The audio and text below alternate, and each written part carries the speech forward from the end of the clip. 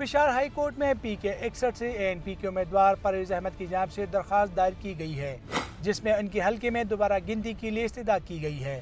اس حلقے سے سابق وزیر اعلیٰ پرویز خٹک کامیاب ہوئے ہیں۔ درخواست گزار کے مطابق پی کے اکسٹھ پر پرویز خٹک کی ووٹوں کی تعداد بیس ہزار دکھائی گئی ہے، جو اصل تعداد کی برعکس ہے۔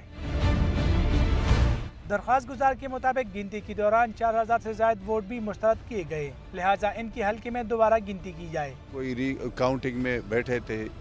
یہ انوکھا الیکشن تھا۔ انہوں نے دو تین بجے تک اپنے ساتھ ریزلٹ رکھے اور چھ بجے ہمارے ایجنٹس کو باہر نکالا۔ کافی ہزاروں کی تعداد میں میرے ووٹ ضائع کر لیے۔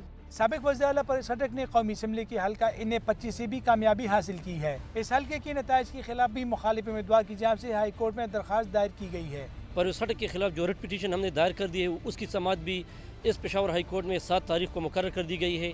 اور آج جو ہم نے پی کے اکسٹھ جو پرویز خٹک ہے، اس کے خلاف جو ہم نے دوبارہ ریکاؤنٹنگ کے لیے درخواست دائر کر دی پٹیشن دائر کر دی، وہ بھی سات تاریخ کے لیے مقرر کر دی گئی مقرر کر دی گئی ہے۔ انہیں پچیس سے پرویز خٹک کی کامیابی کے خلاف دائر درخواست کی سماعت سات اگست کو ہوگی۔ کیمرامین کمران پراچا کے ساتھ مسرت اللہ، دنیا نیوز پشاور